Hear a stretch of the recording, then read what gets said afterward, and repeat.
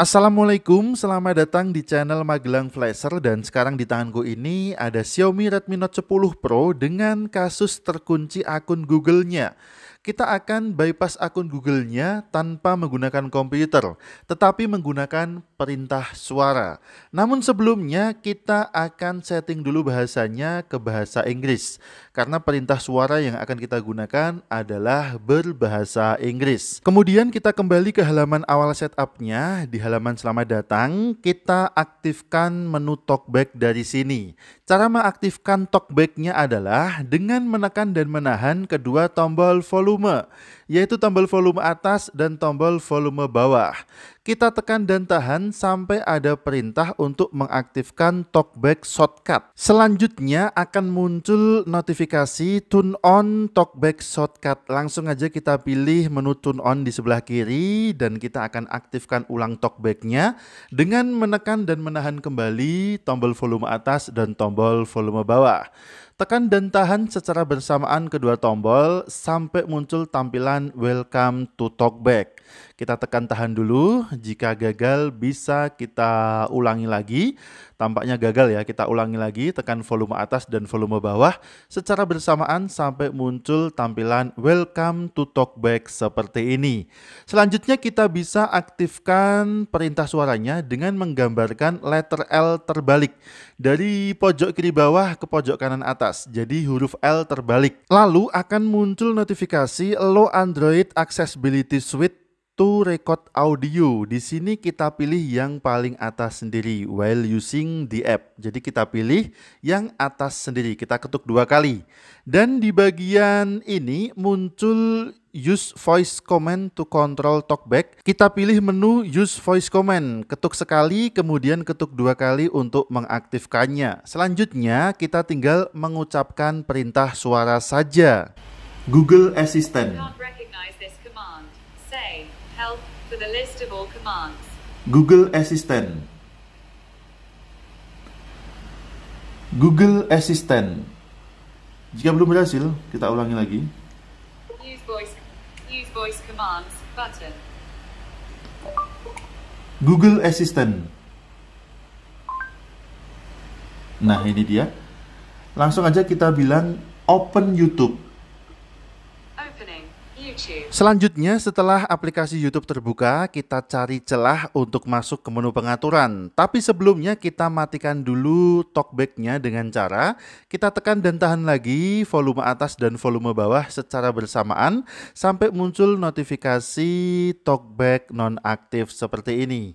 Kemudian sekarang kita cari celahnya melalui menu di pojok kanan atas. Ada logo orang, bisa kita klik menu ini. Kemudian akan muncul tampilan seperti ini, kita pilih setting. Kemudian kita pilih about, kemudian kita pilih YouTube Term of Service. Sampai muncul aplikasi browser. Kemudian kita skip aja. Kemudian kita klik more, kemudian agree and continue. Dan di sini kita pilih cancel cancel saja. Selanjutnya kita akan mengetikkan alamat blog Magelang Flasher pada address barnya.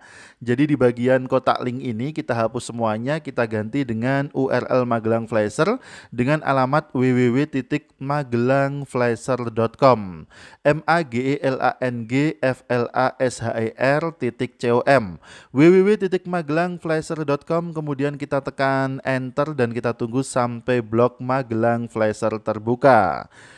Setelah blok Magelang Flasher terbuka, kita bisa fokus ke menu garis tiga di pojok kiri atas. Kita bisa klik menu ini sampai muncul beberapa menu di bagian bawahnya, kemudian kita pilih menu Bypass FRP. Jika muncul iklan, bisa kita pilih menu tutup atau klik X di pojok kanan atas. Ketika sudah masuk di halaman Bypass FRP Google, kita scroll sedikit ke bawah ke bagian spesial shortcut Android. Di situ nomor 2 ada Open Setting Menu kita bisa pilih open setting menu ini sampai muncul menu pengaturan dari Redmi Note 10 Pro ini. Kemudian kita bisa scroll ke bawah, kita pilih di bagian spesial fitur. Ini dia, kita pilih spesial fitur. Kemudian kita pilih second space. Kemudian di sini kita akan membuat ruang kedua, turn on second space. Kita tunggu sebentar. Handphone masih melakukan proses untuk membuat ruang kedua atau second space. Kita tunggu sampai proses loadingnya selesai. Tampaknya ini handphone sedikit ngehang ya atau loading kita tunggu aja sampai proses loadingnya selesai. Jangan kita restart handphone karena jika kita restart handphone maka nanti kita akan mengulai langkahnya dari awal dari mengaktifkan talkback kemudian mengucapkan perintah suara dan masuk ke menu pengaturan lagi maka akan sangat ribet. Lebih baik kita tunggu aja sampai proses hangnya sampai proses loadingnya selesai.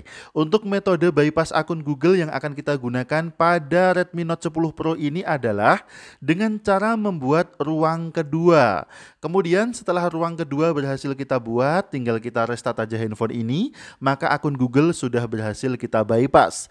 Ketika handphone sudah kita restart, dia akan kembali ke ruang pertama. Ketika handphone sudah bisa masuk ke tampilan menu pada ruang pertama, berarti akun Google sudah berhasil kita bypass. Untuk ruang kedua yang kita buat bisa kita hapus karena sudah tidak kita gunakan. Jadi ruang kedua hanya untuk pengalihan, untuk bypass saja, kemudian kita restart handphonenya. Dalam posisi ruang kedua aktif, maka handphone akan terestart dan otomatis masuk ke ruang pertama setelah restart. Setelah itu kita bisa hapus ruang kedua karena sudah tidak kita gunakan lagi. Namun sementara ini handphone masih dalam posisi loading atau ngehang. Kita tunggu aja sampai proses hangnya selesai. Ini handphone tidak off ya, handphone tidak mati, hanya dalam posisi ngehang atau ngejam saja. Perhatikan. Namun jika sudah terlalu lama, kita bisa mengulanginya saja karena mungkin untuk membuat ruang keduanya gagal, jadi kita ulangi. Cara mengulanginya, kita bisa scroll dari atas ke bawah, maka akan muncul notifikasi bar.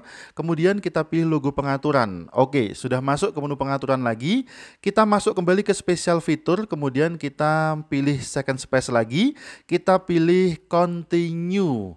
Kemudian di sini kita pilih yang tanpa password yang sebelah kanan, kemudian continue lagi. Kemudian kita tunggu sebentar. Di sini untuk kata sandi kita skip aja, tidak perlu kita setting ya.